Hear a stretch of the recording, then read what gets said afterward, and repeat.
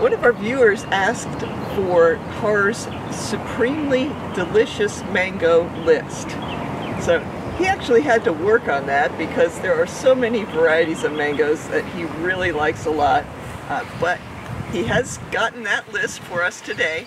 Uh, keep in mind that uh, everybody tastes things differently, so Har's list might not be the same as your list.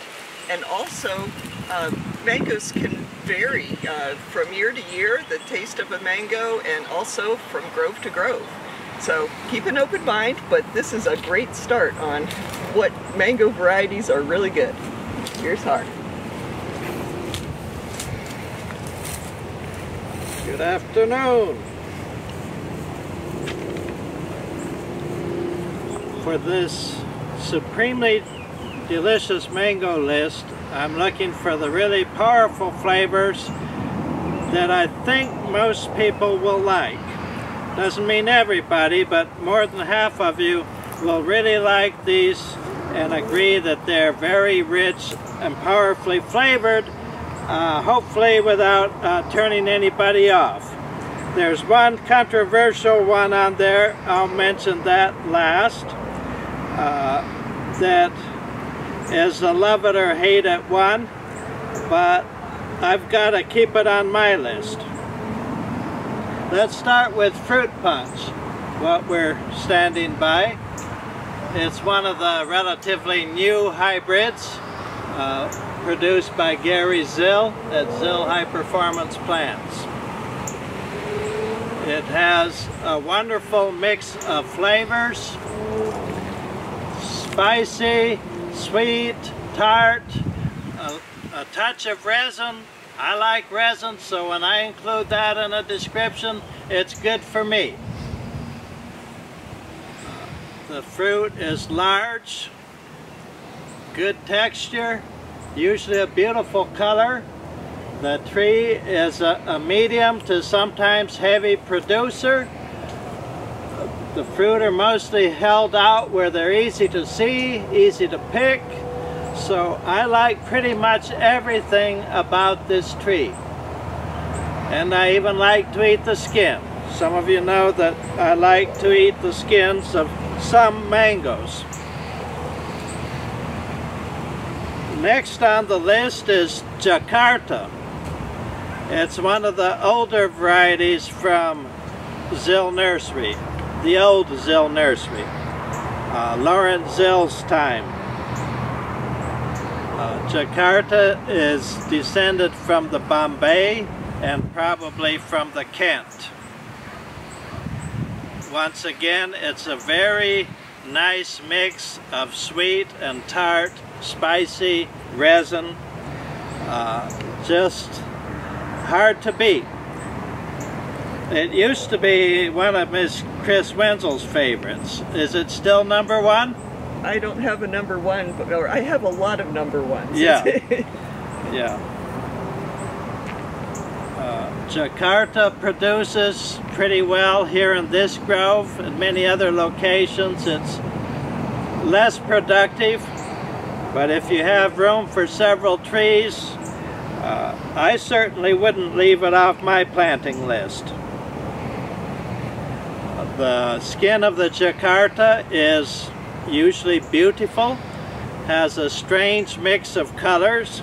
It does give me a little bit of a hard time to pick it because I have some color perception issues. Uh, it has yellow on it before it's ready. Uh, with most of the fruit, we look for yellow as the sign of being ready to pick. But the Jakarta will fool me. So I usually let Miss Chris pick the Jakarta. She has a much better eye for them. Uh, next on the list is another relatively new uh, hybrid from Zills, done about the same time as the fruit punch. That is the Kathy, uh, which we called K3. That's from row K, number three tree in the row. Uh, it's a Southeast Asian uh, type um, mango. Uh, a very smooth, sweet flavor. Uh, not the spicy touches to it like uh, fruit punch or Jakarta. I think pretty much everyone uh, would like Kathy because uh, it doesn't have any of those strong flavors and yet it's rich and sweet. Uh, it's mid-season and often actually starts before the end of early season and goes into the start of late season. A really long season tree, which is a nice thing in a yard. Next on the list is lemon zest, descended from the Po Pyu Kalay, which is the nickname of lemon meringue. I like the lemon meringue a lot, but the lemon zest I like even better. The lemon meringue, however, produces more and in wetter situations out near the swamps. But lemon zest, if you're living near the coast in a nice dry situation, uh, does very well, especially if you spray it. Uh, spray it with copper uh, against some of the skin disease problems that are showing up. I also check the fruit for mango bacterial black spot while the fruit is young. When it shows up on any fruit, I take those fruit off. Uh, that way most of the crop stays clean. lemon zest is a, a very upright, vigorous growing tree. Uh, you need a good long picker in most cases. Next on the list is M4. Still has not received a romantic name. Uh, just the row letter and the number of tree in the row, the fourth tree in the M row. It's descended from Keitt. It's a late season mango, not quite as late as Keitt. It's a heavy producer at least every other year. Some years it could pr produce a light crop or very little crop.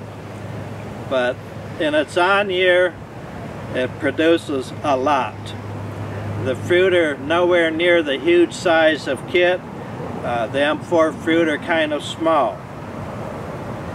But this was actually the first variety that I coined the description supremely delicious for.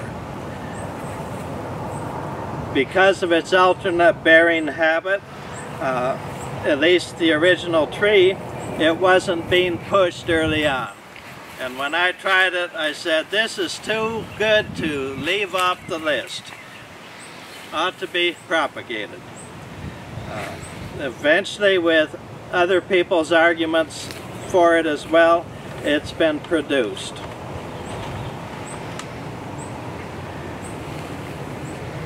Next on the list is a late season variety called Orange Essence. Don't confound this with orange sherbet. They have no relation to each other other than people noticing that they have an orange aroma near the skin. The orange essence produces very heavily uh, in the first part of the late season. The texture is wonderful, the, the flavor is rich, sweet, spicy with that orange peel aroma near the skin. And this is another one that I must eat the skin on and I get the full punch of the orange essence that way. This is another wonderful variety from Thailand that many of us consider to be supremely delicious. This is the Pram Kai Mia. which translates as uh, temple person trade wife for one of these. Maybe not just one of them, for bushels of them, I suppose. uh, the Pram Kai Mia is eaten at any stage of ripeness. Usually people wait till they get bigger than this, so let it grow a little more. But they're great, green, crunchy, and when they hang on the tree for a long time, even after being fully ripe, uh, they get a red carrot color inside and a very uh, delicate sweet flavor all its own. And last on the list, actually first in alphabetical order, but I left it for last, is the Carrie. The Carrie is more controversial. You read some of the mango connoisseurs comments. Some don't like it at all, but it's near the top of my list. And judging by the number of customers who come here asking for Carrie, it's really hard to beat for the population at large. And if a few of you don't like it, well, too bad for you. The rest of us will eat them all. Uh, the Carrie has a very thin skin, no fiber, uh, very smooth texture, sweet. If you wait till it's fully ripe, it's only sweet and spicy. I like it best. Well, it's a little bit firm yet and has some tartness mixed in with the sweet and spice. And Again, I eat the skin of that one. And you hardly notice it because the skin is so thin. It's early season, but in recent years we've often found multiple crops on the trees because the branches tend to bloom at different times and so the fruit ripens up in different months of the summer. Now this is Carrie. At this location near the coast, Carries usually put on a decent crop. Uh, inland, uh, sometimes, sometimes not. Yeah, you can see the early bloom crop here and the late bloom crop up there. Since Carries bruise very easily due to having no fiber and a very thin skin, the more you can have within hand picking reach, the better. Also, at least for my eyes, since I have color perception problems, uh, I like to look at them very close up. If I pick them with a picker, I'm kind of just guessing whether or not they're ready to pick, and I always get some too soon. So if you can keep your Carrie trees short, that really helps. Well, great. Thanks very much.